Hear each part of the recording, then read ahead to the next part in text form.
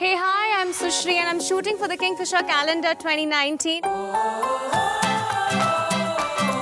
So we are at the very first location for the day. It's called the Hotel Luci della Montagna. And the fun fact about this place is that it's the first hotel of Porto Cervo. So let me take you to my favorite spot in the hotel. Follow me.